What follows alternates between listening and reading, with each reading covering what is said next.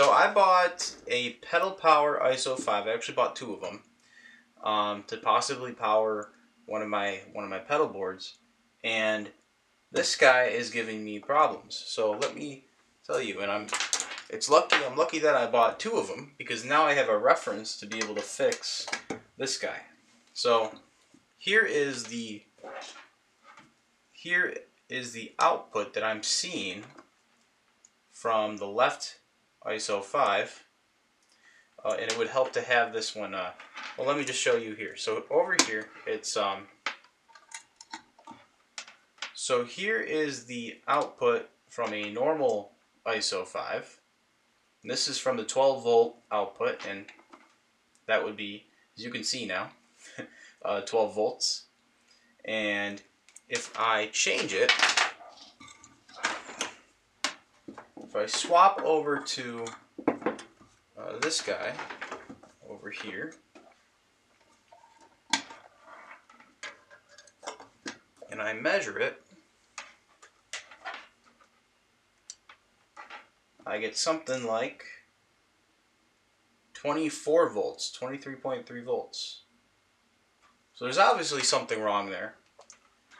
And we're going to open it up and um, see what we can find. Okay, so the one that is working is on the right. The one that is not working is on the left here. The first thing I noticed was that this capacitor over here looks a little bloated. Can just kind of, he looks a little bloated from the side, from my perspective. And if we look at the other one, much, much more flat on the top there. If we go back to here, a little bit more bloated on top. So that's something to look for if you are looking for capacitors to replace your units. I don't know if that's going to directly affect my issue, but um, that was just a good learning opportunity for you guys. So I did some probing around and did some continuity tests with uh, with this guy here, and we have the sleeve. This remember the sleeve is the positive um, signal, the positive power uh, portion of this. So I did a continuity test, and this guy matches up with this regulator in the far back here. So if we can just say it louder for the regulators in the back, we have the 3M, or sorry, the LM317 uh, regulator chip over there. Um, it's an adjustable regulator. It's adjustable by those two resistors, if you can see them down there. And that capacitor value of, looks like it's a 10 microfarad, 25 volt capacitor. Um, so those are the components that I'm going to be kind of focusing on right now.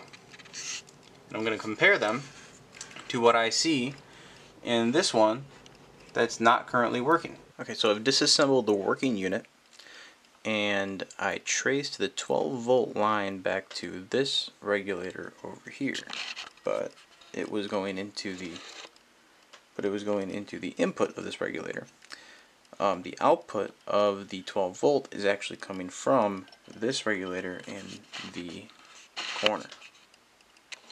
And the part number on that regulator is an LD1117V. So here's the datasheet for the LD1117. It's an adjustable and fixed low drop positive voltage regulator. So here um, it says that there are fixed output voltages of 1.2 volts, 1.8 volts, 2.5, 2.85, 3.3, and 5 volts. But what we're dealing with is a 12 volt output. So we actually have the adjustable version LD1117. Now, if we go down a bit more, we could see that the pinout of this thing is, we have this package, this TO220 package, and the uh, V in is on pin 3, V out's here, on pin 2 and that's where we should have the 12 volt and in the broken one we should have the 23 volts there. Um, I did test the one that was good and the input voltage for the one that is good is at 23 volts which is what we're seeing on the output of the other unit. So there might be something either wrong with this unit or maybe there's a disconnection with the soldering. I don't know yet. We'll find out. And then you have the adjustment uh, pin on pin 1. So here is an application note for the LD1117 adjustable version. Down here we see that there is an equation that we can use to uh, see what kind of reference voltage we are expecting at the adjustment pin. This is going to be helpful for us when we look at the broken unit and we don't see an adjustment that's uh, correct or not. So um, the resistors on this thing use this EIA96 SMD standard for uh, telling you, you know, what kind of what kind of resistance those things have. So uh, for us, we have 66A, which um, converts to 475 ohms, and that is for R1. And R2 was uh, 59B, and that converts to 4020 kilo ohms, or 4020 ohms rather, and that is R2. So if we take R1 divided by R2, that becomes 475 divided by 4020, and that becomes this number. If we add 1 to that, we do 1 over that, and then we multiply that by 12.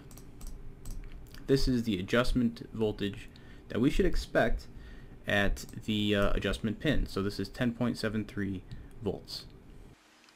Okay, so if we probe the third pin, or first pin rather, of our thing, we get 10.77 volts, which is very close to 10.73. So this is what we can expect on the uh, this guy over here, this this broken guy. So we're gonna see what's wrong with this one uh, next. And here we have the one that's not working out, and if we test the adjustment pin, you can see that we have if I touch the adjustment pin, eh, there's 21 volts across there. The output pin is at 23.4 volts and the input voltage is at also 23 point about that 23.5 volts. So massive difference from uh, our working circuit over here. So what I think I'm gonna do is change this regulator to something else and I'm going to replace that capacitor in the corner there with something that's not bulging. So I have a I have a 470 microfarad cap at 50 volts. Um, I think I'm going to use this in the meantime, and then when I get my hands on a a thousand microfarad cap, I'll just stick that in there when I have the chance to. So I don't have an LD1117 on hand, but I do have an LM317. So uh, this goes up to 37 volts as an output voltage. We only need 12 volts, so we're good there. We supply 1.5 amps of current. On this one, I think we only get 800 amps of current, so we're well over that spec. I think this will be fine to use for a replacement for the LD1117.